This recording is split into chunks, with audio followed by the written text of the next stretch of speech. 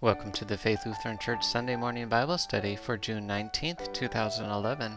This morning, Pastor Bob Hiller continues our discussion on baptism based on chapter 17 in the Lutheranism 101 book. Let's listen in. Uh, let's start with the word of prayer. Heavenly Father, thank you uh, for this day. We thank you for the gift of baptism. And as we discuss in the sermon, the Great Commission, we pray that you would remind us of the wonderful gift of baptism. And we pray that you would. Uh, be with us in this study this morning. Uh, help us to understand your word properly and faithfully. May you be glorified among us. We ask this in Jesus' name. Amen. Amen. All right, so a reading here this morning from uh, a book called Follow Me Discipleship according to the Gospel of Matthew, according to St. Matthew, I should say. Um, this is what it says. Uh, for baptism is a washing in the name of. That phrase was no mystery for men of Palestine, but spoken plainly. Like we always say, we baptize in the name of the Father and the Son and the Holy Spirit. And you know, what does that actually mean? This is a helpful beginning, I think, for us this morning. Uh, they knew that a sacrifice performed in the name of God was a sacrifice intended for God, committed to Him. They knew that a Gentile circumcised in the name of the proselyte thereby became the proselyte. That is someone who's being converted. They knew that such a circumcision performed in the name of the covenant brought a man into the covenant, made him a partaker of its blessings, and put him under its obligations. Baptism in the name of meant for Palestinian ears an effectual committal, a determinative consignment to the thing or person named in the formula. Baptism in the name of the Father, Son, and Holy Spirit meant, therefore, that the person baptized was being committed to the Father, Son, and Holy Spirit. He was being effectually committed to the God whom Jesus has revealed as Father, the Father of the limitless, spontaneous love, the Father's who will, uh, the Father's who, the Father whose will is that He reign in royal grace over all men, the Father that seeking shepherd of the lost, whose will it is that no one of the little ones who believe in Jesus shall perish. The Father who gave the cup which man's sin, uh, sin had mixed the Son. Boy, oh boy, this is harder to read than I thought. The Father who gave the cup which man's sin had mixed to the Son, whom the Father's love made servant for mankind.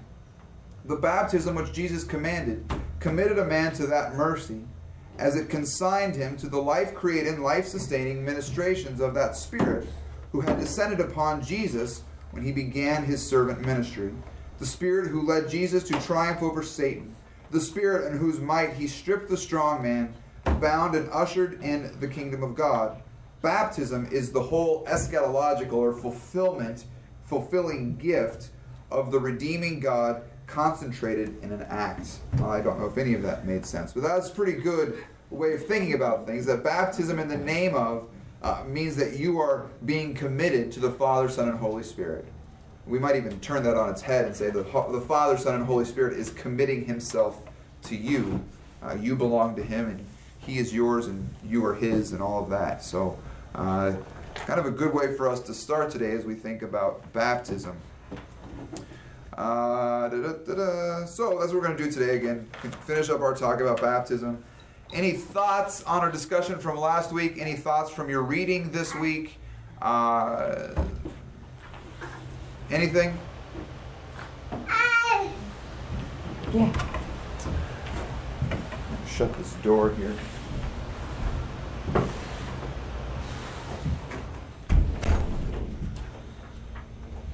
No? Nothing? No questions about baptism?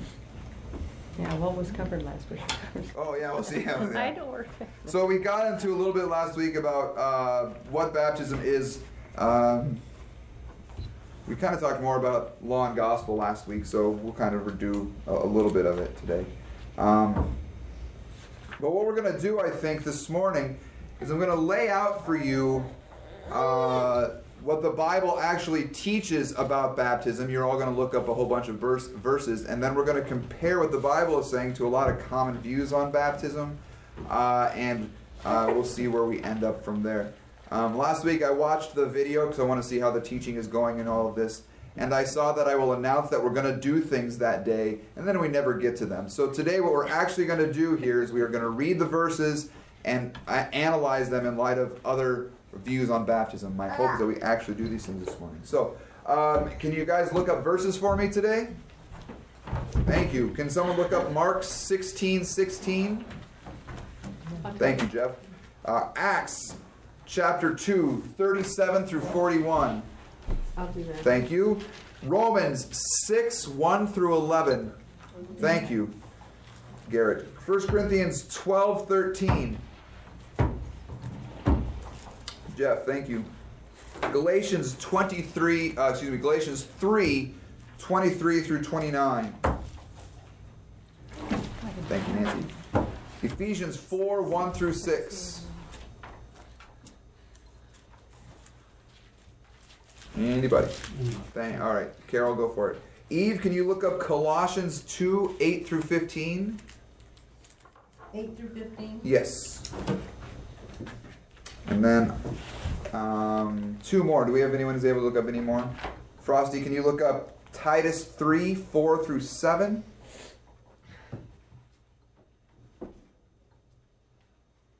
And then one more. Do another one, all right. First Peter 3, 18 through 22.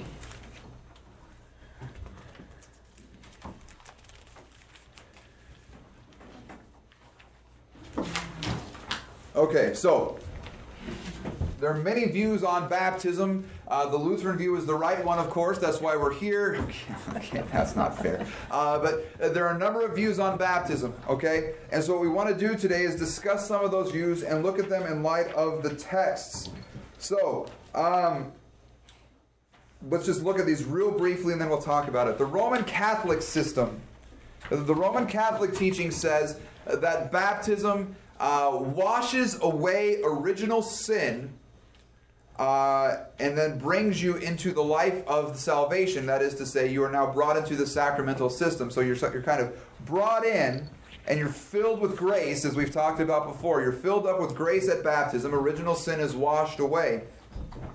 Uh, but then, once you start sinning, you start to lose the grace of baptism.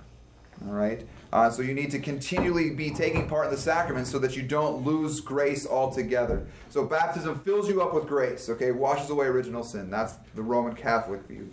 The Calvinist view, uh, this is many Reformed churches. Uh, Calvinists, oh boy. Presbyterian is probably going to hold this view. Some Anglican churches may hold this view, though you never know with an Anglican, but they're, they're probably going to hold this view. Um, Episcopal churches. Um, this is the view that baptism has replaced circumcision. In other words, baptism is a mark of the new covenant. Okay? Uh, so, uh, in the old covenant, how did you know you were part of the covenant?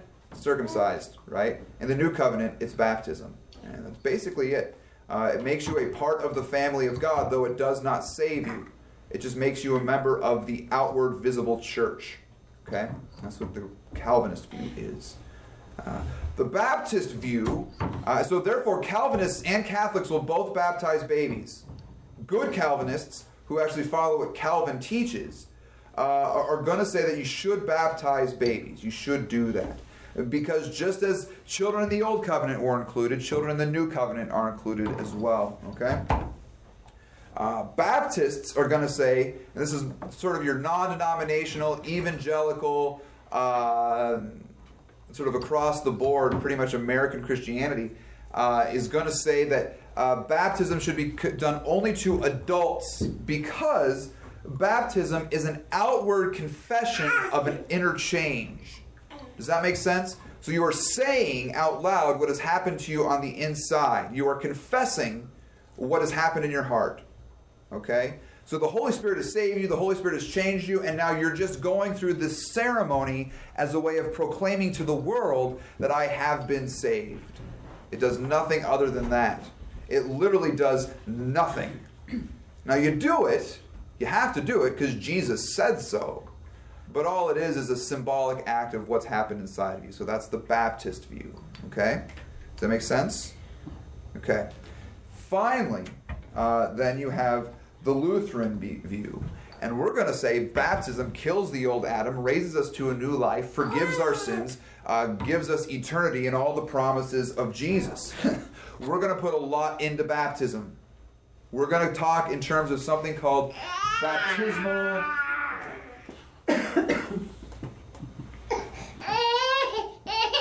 regeneration.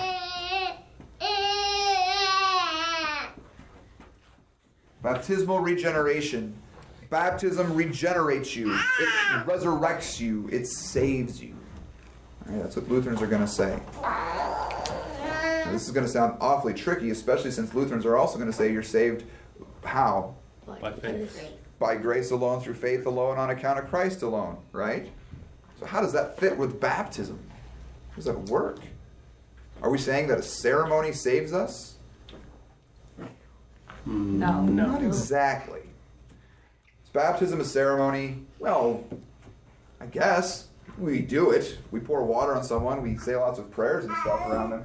But the idea here is this is not so much this is what we talked about last week. So here's the review. Baptism is whose work? God's. God's work. So the Baptist, you say to a Baptist, baptism saves you, and they're going to say, well, how can you possibly say that? Our works don't save us. And we'll say, yes, you're right. But baptism is not our work, it's the work of God.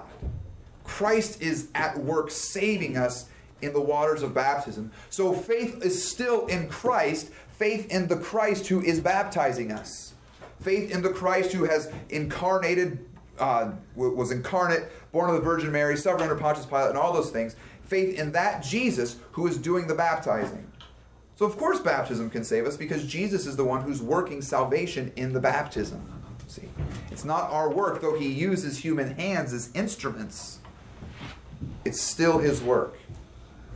Where do we get this? From the Bible. Okay? So let's go to it. Mark 16 16. Well, first, Luther's going to talk this way, and this is very helpful. Uh, baptism is both given to us as a command and as a promise. So we have to do it. It's kind of, in a sense, law and gospel in, in this way. It's both given as a command and a promise. Where does he command it? Like we have to do it. Well, yes, that's right. That's exactly right. We have to do it because Jesus says, do it. You sort of listen to what Jesus says. Yeah. But where in the Bible does he say that? Part of- Great Commission. Oh, someone went to church this morning and was able to listen. That's terrific. Sometimes the kids don't allow for that. Uh, yeah. Go therefore and make disciples of all nations, baptizing. So, do we have to do it? Yeah. Now, incidentally, when we say all nations, who is excluded? Would you include babies in all nations? I would. Yeah. They're part of nations. They're people, as it turns out, sinful ones at that. Uh, so yes, uh, they need to be baptized. Even you, you cute little man. Are you sure, Daddy? All right. Mark tried to grab the communion wafers this morning. Went and he got the tray. He wasn't going to let go. Not a single one spilled. Good job. All right. So uh, that's right. So uh, we're commanded in the Great Commission to baptize. At that point, uh, one guy I was watching on a video this week made an interesting point that the Great Commission in the early church was not called the Great Commission, but it was called the Great Institution because it's there where Jesus institutes both the uh, uh, uh, institutes baptism and institutes uh, the the ministry, uh, teaching of the word. Um, so uh, we look at it as a great place of instituting something. God institutes baptism in the Great Commission, so we have to do it. But what does baptism accomplish? Who's got Mark 16, 16? Go for it, Jeff. Whoever believes and is baptized will be saved, What's the next part? but whoever does not believe will be condemned. Okay, so uh, whoever believes and is baptized will be saved. That's pretty straightforward. That's what Jesus says. Is baptism included in salvation? According to Jesus, it is.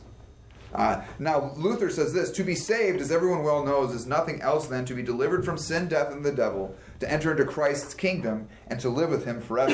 In other words, Luther's saying that's what's delivered to you in baptism. Now, if you have a Baptist friend, or you've ever been a Baptist, or you're thinking about becoming a Baptist, you hear these verses, and here's what you say Look, the main thing here is belief. The baptism is not that big of a deal. Because what is the next part? Whoever, do, whoever does not believe will be condemned. So the whole thing is about belief. And we're going to say, well, sure, but Jesus includes baptism. It's belief and baptism together. It's not one versus the other. One's not incidental to the conversation. Well, then why doesn't it say he who doesn't believe and who isn't baptized won't be saved? Because it's just sort of assumed that if you don't believe, you haven't been baptized. Uh, because uh, there's not a single New Testament Christian who has not undergone baptism. Look at it. Find one Christian in the New Testament who hasn't been baptized. Unbelievers don't get baptized. So Jesus doesn't have to say, whoever does not believe uh, and is not baptized won't be saved. It would be redundant. Except the thief on the cross. Sure, but the thief on the cross is, is remarkably exceptional in that he didn't need baptism since Jesus was hanging right next to him, right? I mean, there's sort of something we don't have that the, the thief had. He's, one guy said it this way, uh, he sort of has the sacrament of all sacraments. Jesus on the cross. Yeah, he doesn't need baptism in that sense. And we also don't want to say this. The, the this is a good point to bring up, Chris. The thief on the cross is not a good model for how to be saved. This is not the example of the Christian life for us. Because people will always run there, well, the thief on the cross wasn't baptized. No. But it's a good example of God's mercy. Uh, sure, well, of course, and I'm not, I'm not denying that at all. But so is baptism. Yeah. And we don't ever see what happens in these conversations is people want to pit the thief on the cross against baptism, and I don't, I never, I never understand that. They're not working against each other. Thief on the cross was saved because Jesus told him so. When you were baptized, Jesus told you you were saved. For the thief on the cross, it was while he was hanging next to Jesus. For you, it's when water hits your head or you're immersed or whatever. Um, it- they're not working against each other. They're just two different ways Jesus saves people. Okay? If you're ever crucified next to Jesus, maybe he'll say the same thing to you. Um, but in these moments, we don't have that. We have baptism. So it's a good example to bring up, and it's important to bring up. But the thief on the cross is not the model of the New Testament Christian, and we can't undo all the baptism verses uh, because of the thief on the cross. Does that make sense? Okay, good. Uh, So, um, if you don't believe and are baptized, then that doesn't count either. No, because baptism doesn't work apart from faith. Um, it's not like baptism is this golden ticket. See, this is Rome's problem. Rome says baptism saves you. Oh, Jeff, you brought up some Latin. Baptism saves you. Ex opera, not opera, op- opere, hmm. operata. I think that's the Latin. Ex opere operata. By virtue of the act itself. So Rome is going to say, if you've been baptized, you're just in. Right away, right there, when the water hits your head, faith doesn't matter at all. Just because you underwent the ceremony, the ceremony itself saves you. It's not the promise, it's the ceremony. And if there's no faith, well, that well, whatever. That that's faith is not part of the conversation there. It's the ceremony that counts. Go ahead. Uh, that kind of got me kind of confused. What about the whole like sinning and all that for the Romans? So like, even if you spend like your whole life sinning, but you were baptized for the Romans, you're automatically in. For the Catholics, um, well, no, no, because here's what a Catholic will say: uh, You've been saved, you've been filled up. Let's say that this is Garrett. Garrett, you're a cup, okay? When you're baptized, you're filled up with this grace. This is like grace right here. It's like water poured in, okay? And you start living your life, and you're doing pretty good, but suddenly you sin, and your grace becomes less. And you sin some more, and it becomes less. And suddenly you have less grace, and you're not so saved anymore. And so baptism doesn't work for you so much now. What you need is to go back into the sacramental system and start doing confession and make sure you're confessing rightly and then doing penance, and then you can be filled up with grace or your grace can go away. But Rome does not teach that just because you're baptized, you're automatically in. They would say you can lose that salvation, which we would say too, but for different reasons. What was the question? Uh, he says, for the Catholics, would they say that once you're baptized, you can just go and do whatever you want and you're automatically saved no matter what? Like you can be baptized as a baby and then become like a mass murderer and still be in? But basically, that's what they say. Uh, Well, they say you can do that, but you, you go and make your confessions and you, Sure. Well, right. So that was what I just said here. So that Okay. um, once you're once you start sinning, you go and make your confession to kind of work it off, and then you get that grace back. But you most certainly can lose your salvation and be consigned to hell if you get rid of all your baptismal grace and never earn it back. See, their system is not grace at all, it's, it's works. So, uh, just because you go through the ceremony, so for a Catholic, you want to say, why don't you just take a hose out? say the magic words over the water and start spraying people. Eh, I mean, you got to wonder about that. Now they're going to say that's obviously not wise and everything, but you run their system through, that almost might work. Probably gonna get an angry email from a Catholic about that one, but um, it, they say it saves ex opera operato just by the mere doing of the act.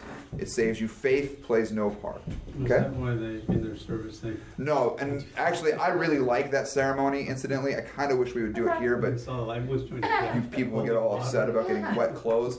Uh, but you take it, all you're doing there is reminding people that they're baptized. Oh, is that what? Yeah, I really like that. I wish we could do that sometime where you, you, you have this, uh, I don't know what you take, some, douse the people with. you water. douse people with water. Yeah, you take something, you dip it in water, and you flick it all over the place to remind people that they've been baptized. Yeah. And everyone laughs, and it's kind of funny, but it shouldn't it be? Shouldn't it be like joyful to be remembered that you're being baptized, that you've been baptized, that the water has has saved you through Christ has saved you through the water? I mean, that's kind of a fun thing. But all right, so uh, good. Any more on that? We're doing good here. Okay, baptism saves you. He who believes and is baptized will be saved. All right. Um, Jeff, did that answer your question? Yes. Okay. Acts 2, 37 through 41. Who's got that one? I do. All right. Uh, when the people heard this, they were cut to the heart and said to Peter and the other apostles, Brothers, what shall we do? Peter replied, Repent and be baptized, every one of you, in the name of Jesus Christ for the forgiveness of your sins, and you will receive the gift of the Holy Spirit. The promise is for you and your children, and for all who are far off, for all whom the Lord our God will call. Okay. With Oh, go ahead. with many other words, he warned them and he pleaded with them Save yourselves from this corrupt uh, generation. Those who accepted his message were baptized, and about 3,000 were added to their number that day. Okay.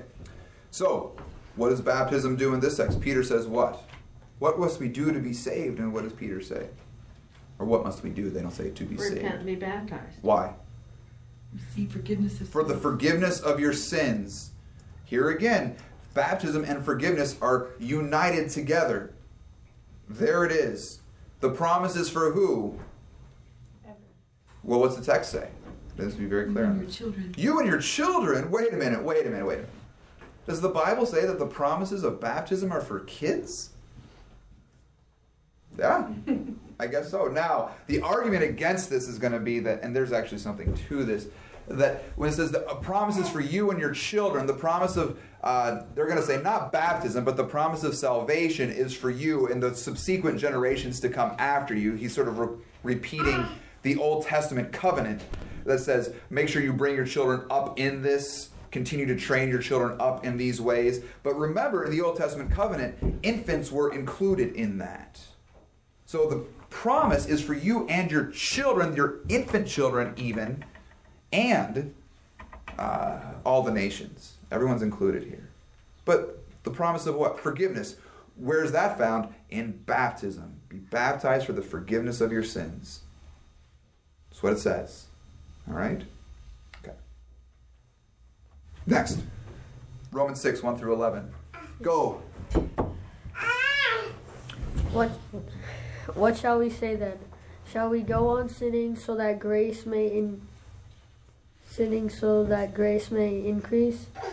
By no means. We died to we died to sin. How can we live it, in it any longer? Or don't you know that all of us who were baptized into Je- uh, Christ Jesus were baptized into his death? We were therefore buried with with him through baptism into death, in order that just as Christ was raised from the dead through the glory of the Father, we too may live a new life.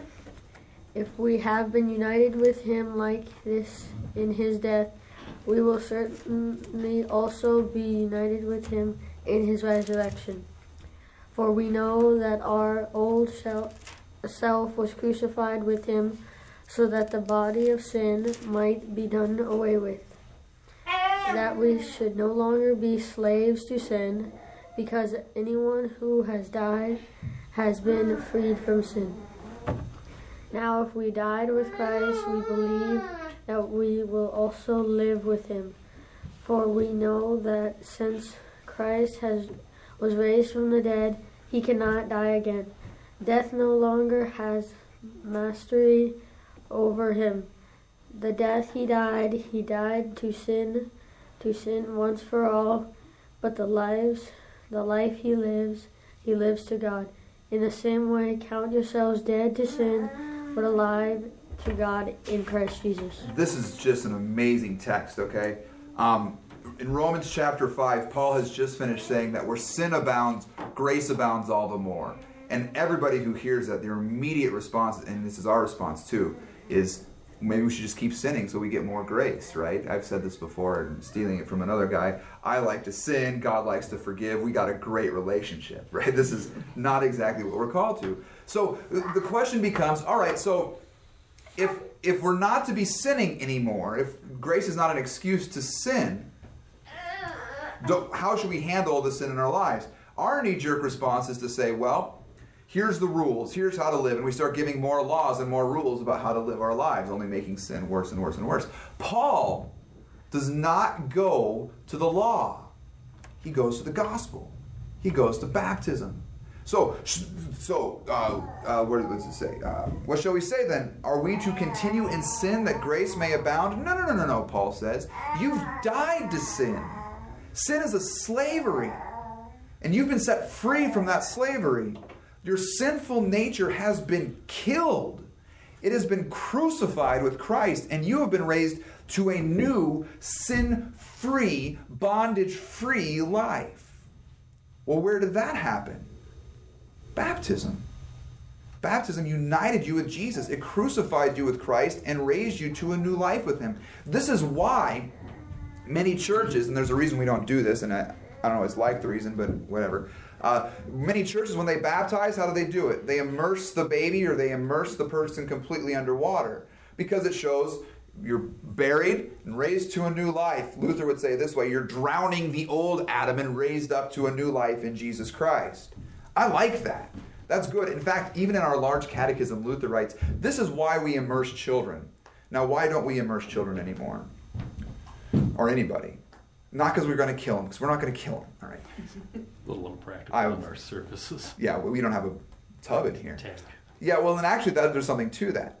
There were people, many of the Catholics were baptizing by just pouring water, just pouring water, sprinkling water on the head. And the Anabaptists, the rebaptizers is what that means, they came along during the Reformation and they said, doesn't count.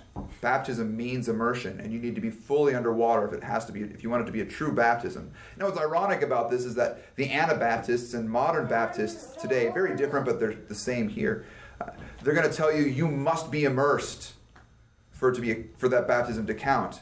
But then they're going to say, but baptism doesn't really do anything. So, okay. Uh, but but what they're going to say is, see, it's baptism means immersion. Well, it doesn't. It means washing with water is is what it means. Um, and in the Bible, they're going to say, but everyone who's baptized was immersed, so you must be underwater. So they're going to become legalists about it. And so the Lutherans said, the amount of water doesn't matter. I mean, we don't actually have the gallons and how much water was in the river. I mean, if we're going to follow this way of thinking, we need to go to a river to be baptized. We must be in some brook somewhere. And if that's the case, what if there's not wa- enough water in the brook for us to be immersed? What if we can't have enough for an immersion? Will we not get to be baptized? They just start making up too many rules. So we say water's all that matters. As long as you got some water and the word, because the big thing is the word and the water, the promise, not how much water is involved. So we'll say as long as water is involved, you're good. Does that make sense? All right.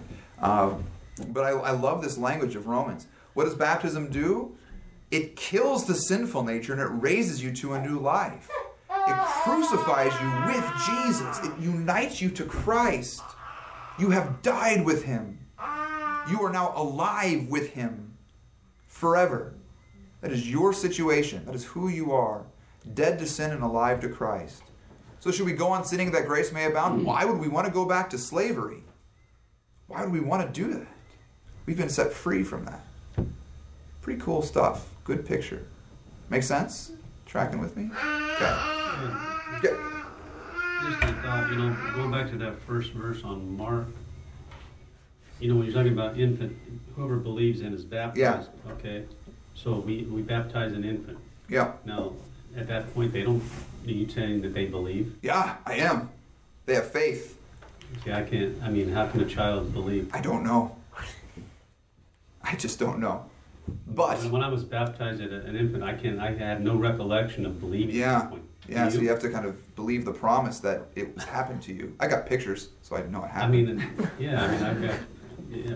But who? So here's here's what you're asking. Here's behind your question. Don't I have to contribute something? Don't I have to experience it? Don't I have to know it? Actually, this is why infant baptism is such a marvelous picture of grace. The baby did. Right, The baby did nothing, right. and that is exactly where God needs us if He's going to save us. Um, I think it's the best possible picture of grace.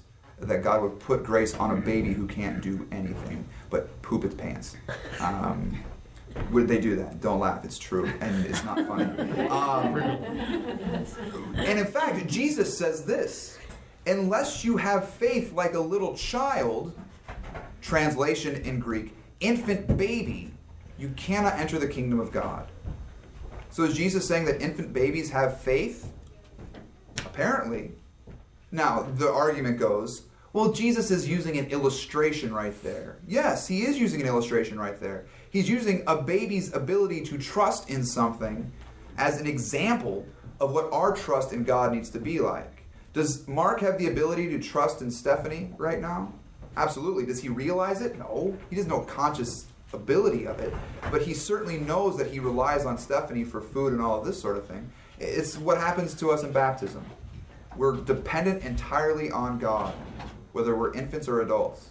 Now, we would say that in baptism, uh, faith is generated, baptismal regeneration, through the word and through the water. Whether the baby knows it or not, it's not the point. The point is the promise.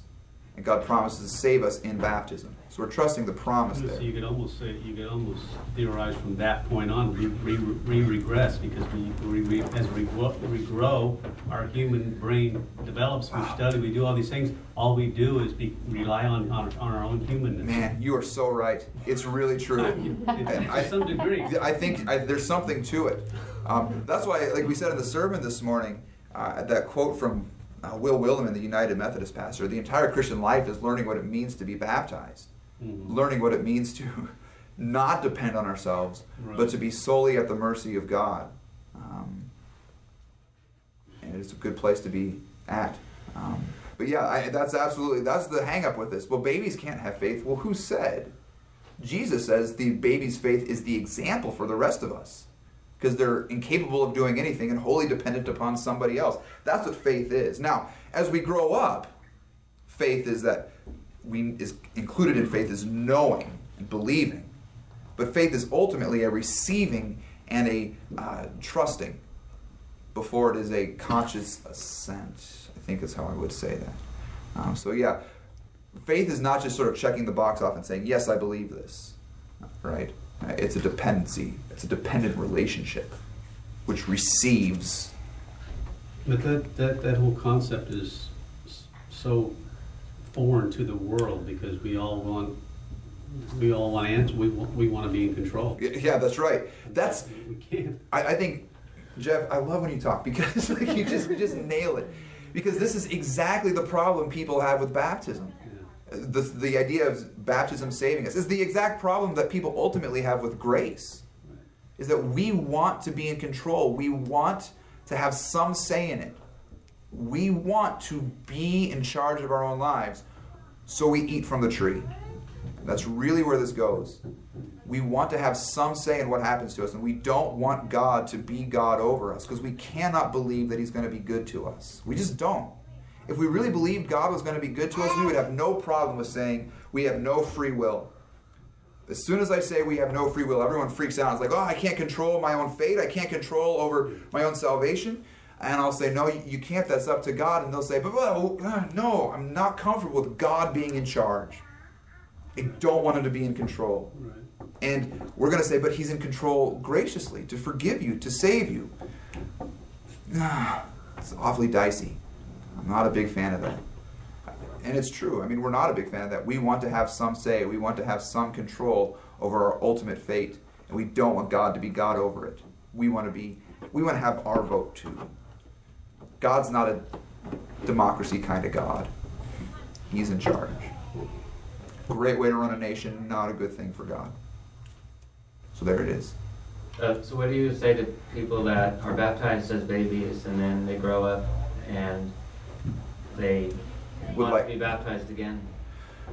Don't, uh, because it, it if it's God's work, it worked the first time. But I stopped believing, and then I came back, which just proves the point. God didn't let go all that easy. You went away, but baptism remained. Now, what if you were baptized in a different faith?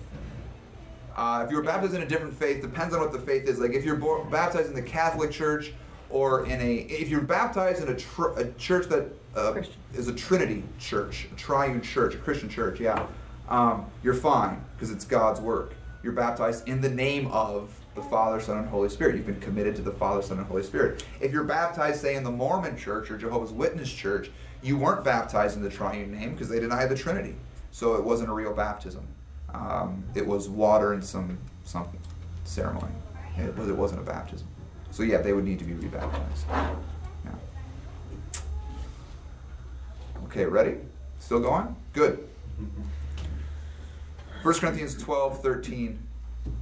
Um, for we were all baptized by one Spirit into one body, whether Jews or Greeks, slave or free, and we were all given the one Spirit to drink. So, what does baptism do there?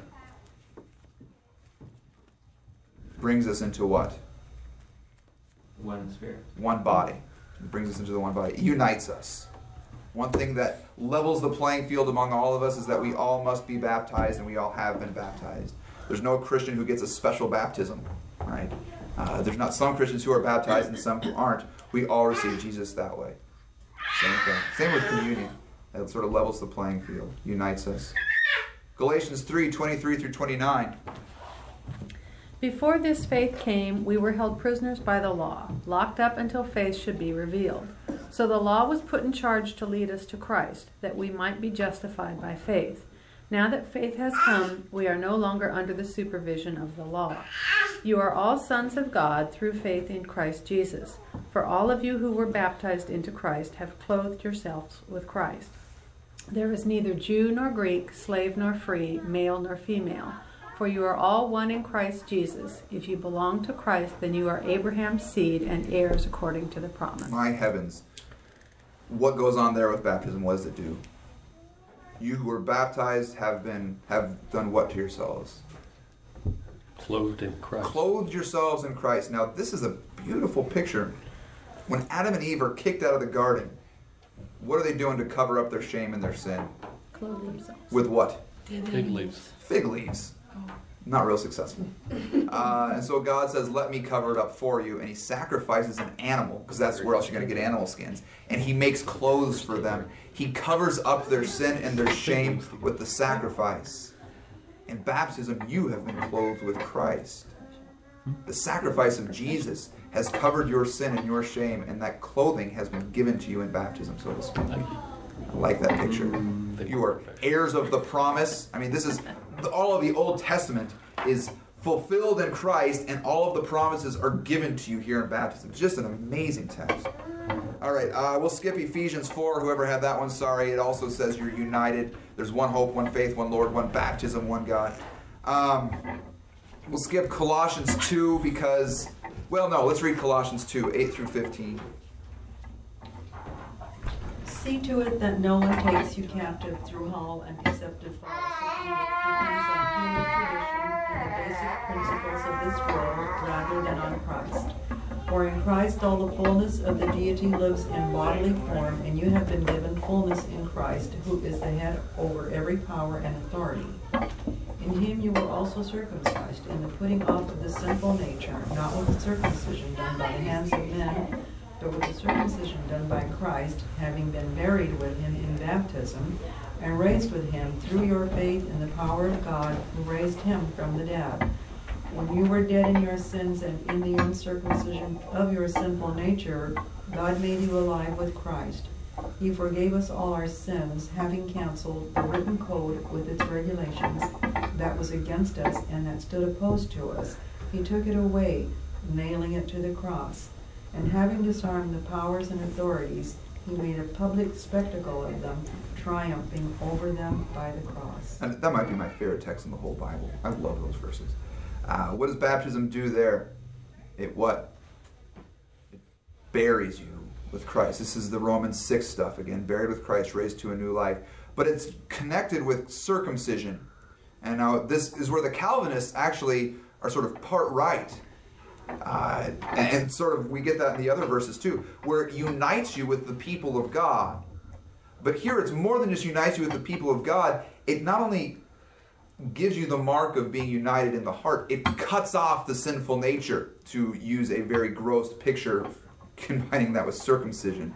Uh, your sinful nature has been cut off, you've been buried and raised to a new life in baptism. Make sense? Okay.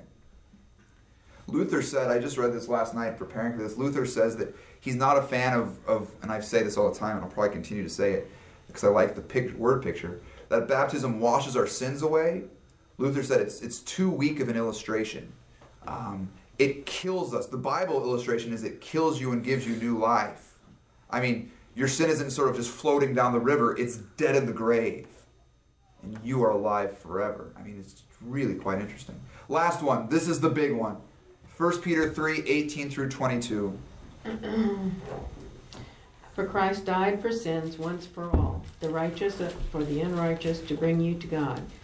He was put to death in the body, but made alive by the Spirit, through whom also he went and preached to the spirits in prison, who disobeyed in prison, who disobeyed long ago when God waited patiently in the days of Noah while the ark was being built. In it, only a few people, eight in all, were saved through water, and this water symbolizes baptism that now saves you also. Not the removal of dirt from the body, but the pledge of a good conscience towards God. It saves you by the resurrection of Lord of Jesus Christ, who has gone into heaven and is at the right at God's right hand with angels, authorities, and powers in submission to him. Dude, okay. There are some people who will argue that we don't need water baptism, we need spirit baptism. And in the book of Acts, it's confusing. Were they baptized by water or baptized by the Spirit? According to this text, what should it be? Water baptism. Right? This water of Noah's ark, the, the story of Noah, this water symbolized baptism. The water of the flood symbolized baptism. What did the water of the flood do to the earth?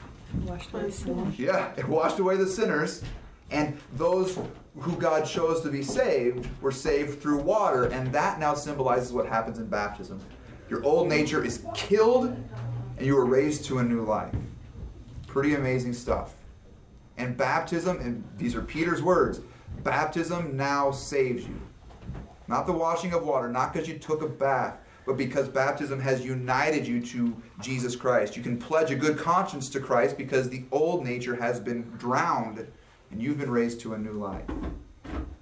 So when Barbara saw her grandchild baptized this last week, she watched the child, this is going to be stark now, watched the t- child die and come back to life.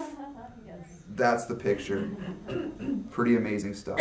Um, this is the tough one. This is the one I was telling you about a few weeks ago. The pastor I really like, the Baptist pastor uh, online, he, he had a sermon on this text in Peter, and part of the title was Baptism Does Not Save You.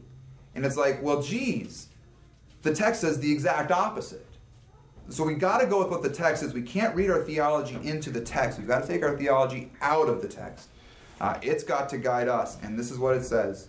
Baptism saves you, and it saves you through the resurrection of Jesus. Pretty amazing stuff.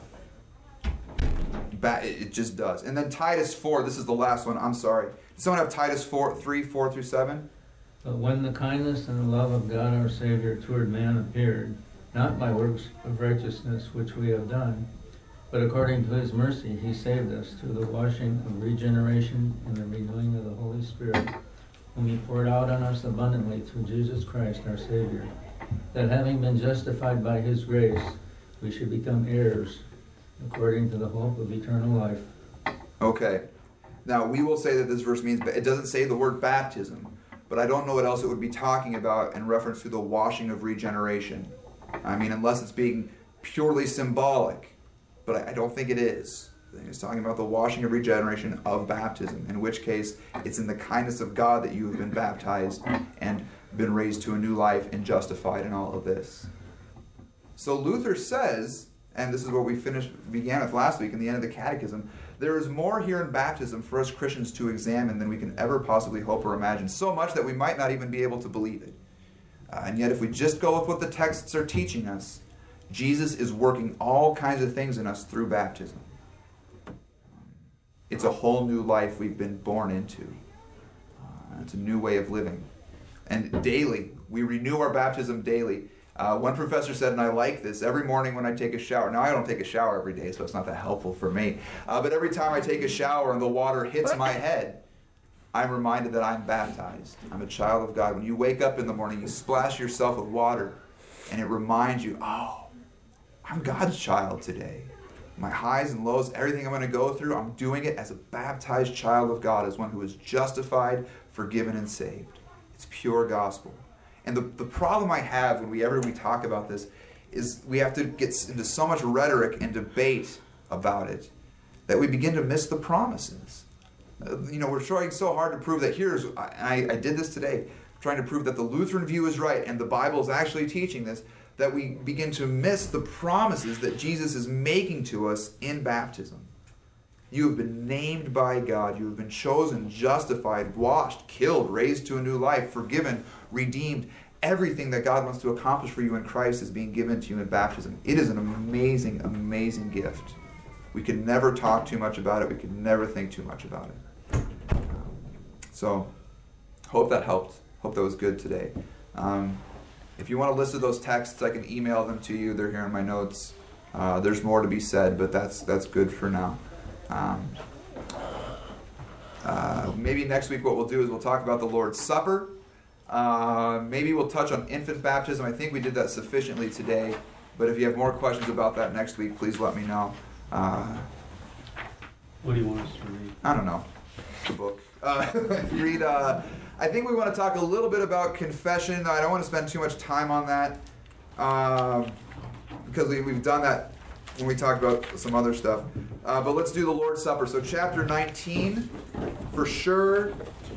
Uh, Let's spend some time on that. there's there's like three chapters on the Lord's Supper. So Confession, we didn't, we didn't really even touch on. well, we have I think in the past. So maybe what we'll do is this. We'll do chapter 19 and we'll talk about confession and then excuse me, chapter 18. Do 18 and 19 for next week. There we are. Chapter 18 and chapter 19. We'll start into the Lord's Supper after we talk about confession. And then uh, we'll go we'll do a few weeks on the Lord's Supper, which will be good for us. Okay? Thanks everybody. Have a good week. Go to church. For more information on Faith Lutheran Church of Moorpark, California, and for more podcast episodes like this one, visit us on the web at www.faithmoorpark.com. Music by Kevin MacLeod.